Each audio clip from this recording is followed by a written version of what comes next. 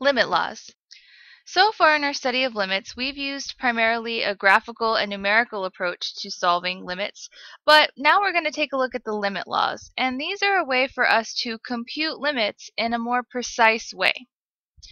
So here are the limit laws, and first we're going to need to suppose that c and k are some real numbers, and we're going to have to assume that the limit as x approaches c of some function f of x equals L, so this limit exists and equals L, and the limit as x approaches the same value c, but of a different function g of x equals m, some other numerical value. So I have two limits that exist as I approach c on two different functions. So let's go ahead and take a look at the first limit law. So it's called the sum law, and because what it says is that the limit as x approaches c of the sum of two functions, so f of x plus g of x, well that's the same as, that equals the limit as x approaches c of just f of x plus the limit as x approaches c of just g of x. So I can split this one limit into the sum of two separate limits. So I can compute each one individually. Now in our hypothesis up here, the limit as x approaches c of f of x was L, so I'm replacing this left portion here with L, and the limit as x approaches c of g of x in the hypothesis was m, so I'm replacing the second limit with m. So the, the sum law in words says the limit of a sum equals the sum of two different limits. So now let's go ahead and continue on. So the difference law basically says the limit of the difference of two functions can be broken down into the difference of two different limits. So now I instead have L minus M. The constant multiple law says that if the limit as x approaches c of k times f of x, now this is important, k was remember a real number, some constant. So if I have some number in front of a function, well, this law tells me that I can go ahead and take that k value and pull it out of the limit. So k went ahead and moved outside to the front of the limit. And remember that the limit of f of x as x approaches c was just L, so the final answer would be just the constant that we pulled out times the limit value L. And we can continue on here. So the product law, so the limit of a product of two functions is equal to the product of the limit of each of those functions separately, so L times M. And then you guessed it, the quotient law, we can do the same thing. We can take the limit of the numerator and the limit of the denominator separately to get L over M. And this portion here just says I can't have M be 0, right? So if I ever have a fraction, I cannot have the denominator be 0. And then finally, the power law and the root law says that here you'll notice the limit of f of x raised to the nth power. Well, what I can do is I can take the limit and I can bring it inside and take the limit of just f of x and whatever number that is, in this case it's L, well, all that can be raised to the nth power. And the root law too says that I can pull the limit inside of the root. So here the limit is outside the nth root, and then it's equivalent to pulling the limit inside the nth root to get the nth root of L, or we can write that as L to the 1 over n, and n in both of the last two cases has to be a positive integer. So right now, this just seems like kind of a lot of information, but it's really intuitive as we start applying it to different problems. So now we'll go ahead and take a look at some examples. Alright, so in this first example, we're told to compute the limit as x approaches 1 of 2x plus 3 using the limit laws. Now again, as previously mentioned, uh, the only strategy we'd have to do this so far is numerical or graphical. So we could go ahead and graph the line 2x plus 3 and then see what uh, y value we're approaching as we plug in values close to 1 from both sides. Or we can just go ahead and start plugging in values close to 1, so uh, 0.9, 0.99, etc. But the limit laws are going to give us a nice way to find the exact answer if we recognize that we have the sum of two different functions here. So this can be written as the limit as x approaches 1, so I'm going to rewrite the problem at first, of 2x plus 3. So 2x is one function, and 3 is another function. So our first sum law told us that we could split this into two separate limits. So this is now going to be the limit as x approaches 1 of 2x plus a completely separate limit, the limit as x approaches 1 of just the constant 3. So now taking a look at this first limit, 2 is a constant that's in front of the function x. So my constant limit law says that I can go ahead and take this 2 and pull it to the front of the limit. So this left portion will become 2 times the limit as x approaches 1 of just x plus the limit as x approaches 1 of the constant 3. So now what we've done is we've reduced this problem down to two limits that we can solve based on our previous video. So here the limit as x approaches 1 of just x, of the linear function x, the identity function, we can just go ahead and substitute 1 into the x. So this limit is 1, and I can't forget it's being multiplied by that constant 2. So this is 2 times 1, plus the limit as x approaches 1 of 3. Well, the limit of a constant is that constant. So this limit, no matter what, is going to be 3. So now what I have is 2 times 1, so 2 plus 3. So my answer here is going to be 5. So the limit laws are going to be a way of giving us an exact answer without using numerical and graphical methods. So let's go ahead and take a look at a second example here. We have the limit as x approaches 5 of x squared that we're trying to solve using the limit laws. Now, I recognize x squared as a power, so we'll use the power law. So here, the limit as x approaches 5 of x squared, well, what I can do is I can go ahead and take instead the limit as x approaches 5 of just x, because the power law tells me I can go ahead and solve this limit first, and then take the answer and square it, raise it to the power that I see in the function. So now the limit as x approaches 5 of x, right, so this is the identity function, I can go ahead and substitute 5 in. So this is 5 as the solution to the limit on the inside, and 5 squared is 25.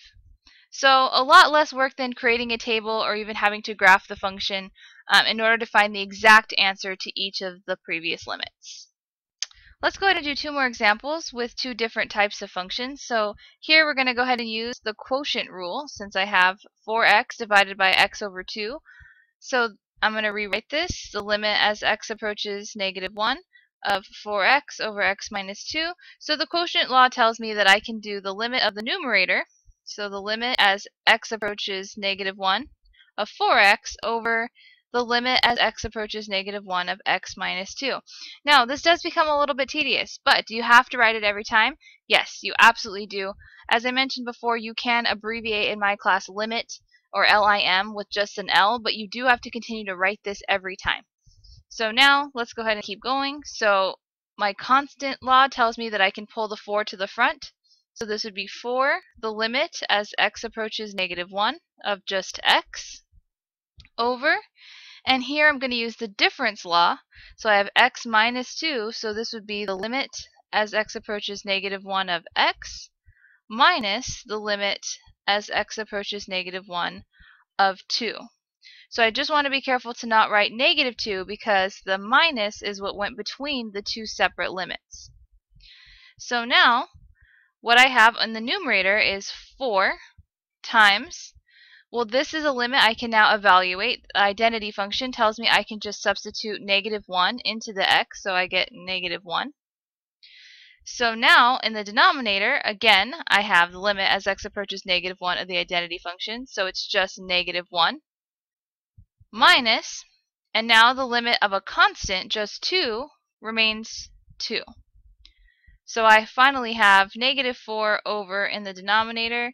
I'm going to have negative 3. So my final answer is going to be 4 over 3. So in this one we use quite a few um, different limit laws. We use the quotient law, the difference law. And in this final example, we will use the root law here. So remember the root law told us that we can take the limit and bring it inside of the radical. So this is actually going to become the limit as x approaches 9 of radical x plus 7 will look like a larger square root symbol and I'm going to take the limit and bring it to the inside. So x approaches 9 of x plus 7 and now underneath the radical I'm going to use the sum law and split this into the limit as x approaches 9 of x plus the limit as x approaches 9 of 7 so we've split it up into two limits underneath the radical. And I've run out of space, so I'm going to continue up here. And this would be the square root of, so we've done this a few times now, since this is the identity function. Uh, the answer to the first limit is just 9. And plus, the limit of this constant number, this constant function 7, is going to be 7. 9 plus 7 is 16, and the square root of 16 works out nicely to be exactly 4. So now we've gone ahead and used um, almost all of the limit laws and applied them to different problems to find the exact answer without graphical or numerical methods.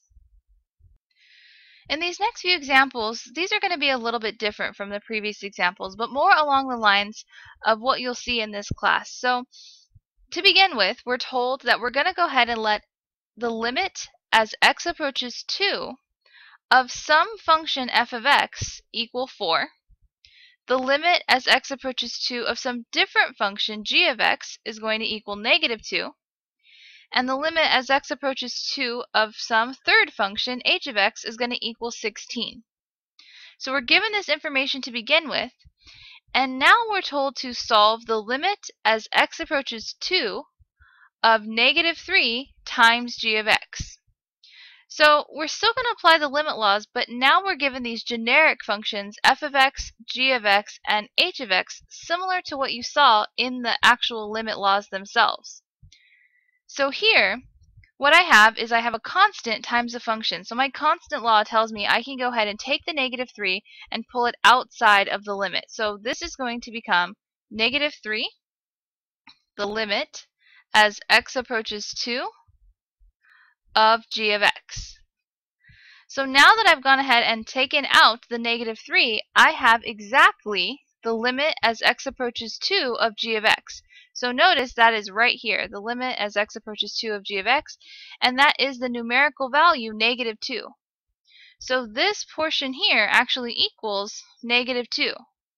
And this is multiplication, so what we have is the constant, negative 3, times the limit value that was provided times negative 2. So my answer here is going to be positive 6. Now, again, I just want to go ahead and state that you do have to show the work here, that just putting positive 6 as the answer is not going to get you credit. It's that you're applying and showing me that you know how to apply the limit law and go ahead and take the negative 3 outside of the limit. So let's try the next one. Solve the limit as x approaches 2 of f of x plus g of x. So this looks just like the uh, sum law here. So we're going to split this into two separate limits. The limit as x approaches 2 of f of x plus the limit as x approaches 2 of g of x. And now we have each of these two pieces of information that were provided at the beginning. So the limit as x approaches 2 of f of x is exactly 4. So this left portion here is 4 plus the limit as x approaches 2 of g of x, we use this information already, is negative 2. So 4 plus negative 2 is going to give us positive 2. So let's go ahead and look at two more examples similar to this. So we still have this given information up here that hasn't changed. Now we're being asked to solve the limit as x approaches 2 of f of x times h of x. So I have a product of two functions.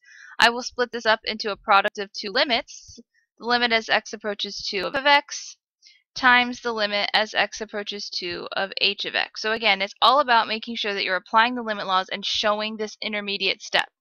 Because now, the limit as x approaches 2 of f of x is 4, and the limit as x approaches 2 of h of x is 16, and 4 times 16 is going to give us the exact value 64. And in the final example, we have the limit as x approaches 2 of the square root of h of x. We can go ahead and take the limit and bring it inside the radical. So this is the square root of the limit as x approaches 2 of h of x. And we have this value here. This value is 16, so this is square root of 16. And square root of 16 is exactly 4.